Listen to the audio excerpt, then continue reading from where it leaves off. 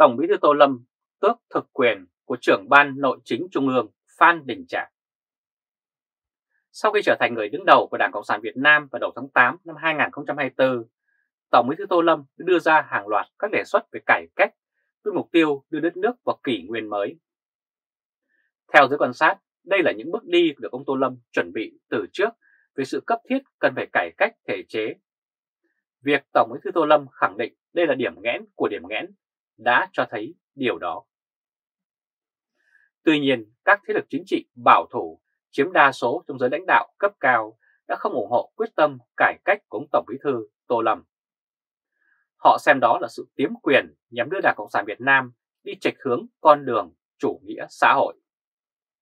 Điều đó cho thấy việc quyết định chủ trương cải cách điểm nghẽn của thể chế đã đưa ông Tô Lâm vào tình thế cưỡi lên lưng cọp.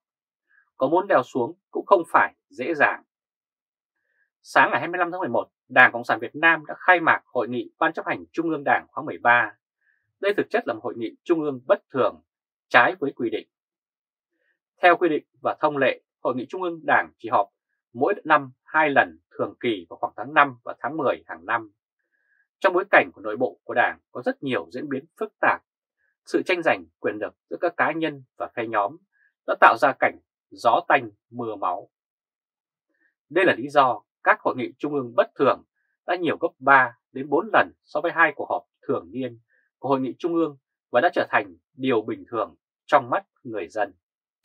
Mới đây nhất, từ ngày 18 đến 20 tháng 9 vừa qua, Hội nghị Trung ương 10 khóa 13 vừa kết thúc đã hết sức khẩn trương, rốt ráo và ngắn gọn, với thời gian làm việc được cho là thâu đêm suốt sáng. Nhưng kết quả, Tổng bí thư Tô Lâm vẫn không thuyết phục được Ban chấp hành Trung ương đồng thuận về cái gọi là cải cách thể chế. Đó là lý do ông Tô Lâm đã phải chấp nhận quay xe để đưa ra phương án mới dễ thuyết phục Trung ương hơn. Theo đó, Tổng bí thư Tô Lâm sẽ thực hiện một cuộc cải cách mang cải cách hệ thống chính trị với mục tiêu nhằm xây dựng một bộ máy tinh gọn, hoạt động hiệu lực, hiệu quả. Phương án kể trên hoàn toàn phù hợp với tuyên bố của ông Tô Lâm trước đó khi khẳng định rằng chỉ 70% thu ngân sách để nuôi bộ máy hành chính thì lấy đâu ra tiền để mà phát triển đây.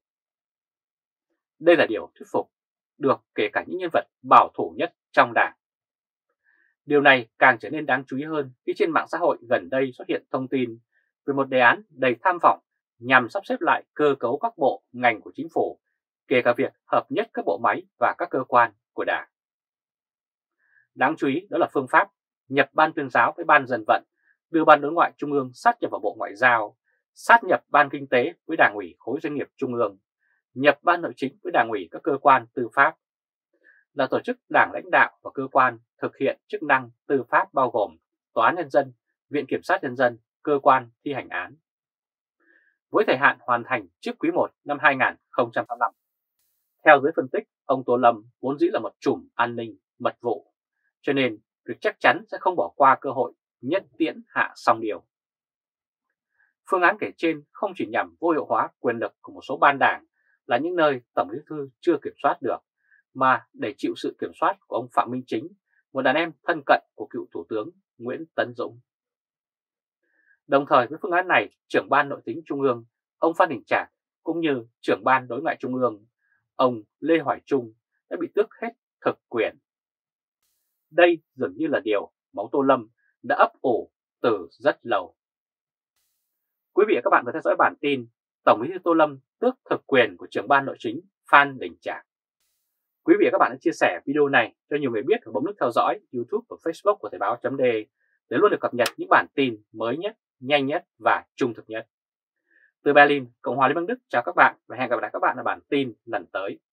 Trung Khoa Thời báo .de vì sao Chủ tịch nước Lương Cường chịu để cho Tổng bí thư Tô Lâm giành quyền đi thăm Malaysia? Từ ngày 21 đến ngày 23 tháng 11, Tổng bí thư Tô Lâm đã thăm chính thức Malaysia với mục đích củng cố và phát triển quan hệ đối tác chiến lược giữa Việt Nam và Malaysia. Đáng chú ý, kể từ ngày 21 tháng 10, Tổng bí thư Tô Lâm đã chính thức chuyển giao chức vụ Chủ tịch nước cho Đại tướng Lương Cường. Ông Tô Lâm chỉ còn giữ chức vụ người đứng đầu của Đảng Cộng sản Việt Nam. Mặc dù theo Điều 88 Hiến pháp vào năm 2013 quy định, Chủ tịch nước là người đứng đầu nhà nước đại diện cho Việt Nam trong các hoạt động đối ngoại. Chủ tịch nước giữ vai trò quyết định đàm phán ký kết các điều ước quốc tế, đồng thời cũng là người thống lĩnh lực lượng vũ trang, Chủ tịch Hội đồng Quốc phòng An ninh. Theo giới quan sát quốc tế, trong chuyến thăm Malaysia, ông Tô Lâm đã tập trung về các vấn đề liên quan đến chủ đề Biển Đông giữa Việt Nam và Malaysia, cũng như tình hình an ninh trong khu vực. Cụ thể, Tổng bí thư Tô Lâm và Thủ tướng Abraham đã nhấn mạnh tầm quan trọng của chủ đề này nhằm mục đích thúc đẩy những xu hướng tích cực trên Biển Đông. Chủ tịch nước Lương Cường lâu nay vẫn được đánh giá là một nhân vật lãnh đạo thân với Bắc Kinh. Vấn đề đặt ra là có hay không việc Tổng bí thư Tô Lâm không dám đặt lòng tin với ông Lương Cường về vấn đề Biển Đông, một vấn đề nhạy cảm hàng đầu và có liên quan tới Trung Quốc. Dường như đã đoán trước được những nghi vấn kể trên, truyền thông nhà nước đã gián tiếp đưa ra lời giải thích về việc Tổng bí thư Tô Lâm làm thay việc của Chủ tịch nước. Theo đó, trong hệ thống chính trị Việt Nam, Tổng bí thư là người đứng đầu của Đảng Cộng sản Việt Nam, giữ vai trò lãnh đạo cao nhất trong đảng và có ảnh hưởng đến các quyết sách quốc gia. Trong khi đó, Chủ tịch nước Lương Cường với vai trò là nguyên thủ quốc gia thực hiện các chuyến thăm quốc tế nhằm thúc đẩy quan hệ song phương và đa phương. Gần đây, từ ngày 12 đến 16 tháng 11, Chủ tịch nước Lương Cường đã thăm chính thức một số quốc gia Nam Mỹ và tham dự tuần lễ cấp cao APEC 2024 tại Lima, Peru. Theo giới quan sát, việc Chủ tịch nước Lương Cường không công du Malaysia có liên quan gì đến vụ bê bối, quấy rối tình dục của cận vệ mà ông Lương Cường muốn tránh mặt hay không? Tuy nhiên, vấn đề này được cho là khả năng rất nhỏ. Vẫn theo giới phân tích quốc tế, vấn đề cơ bản vẫn là việc cho rằng Trung Quốc sử dụng ông Lương Cường để duy trì ảnh hưởng tại Việt Nam dựa trên một số quan sát về mối quan hệ giữa ông Cường và Bắc Kinh. Ông Lương Cường từng giữ chức chủ nhiệm Tổng cục Chính trị Quân đội Nhân dân Việt Nam đã có nhiều cuộc gặp gỡ và làm việc với các lãnh đạo quân sự của Trung Quốc. Mới đây nhất vào tháng 10 năm 2024, ông Lương Cường đã tiếp Thượng tướng Trương Hiệu Hiệu Hiệp, Phó Chủ tịch Quân ủy Trung ương Trung Quốc nhằm thúc đẩy hợp tác quốc phòng giữa hai nước. Trước khi nhậm chức Chủ tịch nước, trong vai trò Thường trực Ban Bí thư, ông Lương Cường đã hội kiến với Chủ tịch Trung Quốc Tập Cận Bình trong một chuyến đi đầy khuất tất. Điều đó có thể phản ánh sự ảnh hưởng của Trung Quốc trong việc sắp xếp nhân sự cấp cao tại Việt Nam. Ngoài ra, ông Lương Cường cũng từng theo học các khóa bồi dưỡng cán bộ cấp cao tại Trung Quốc trong 2 năm, từ tháng 12 năm 2011 cho đến tận tháng 11 năm 2013.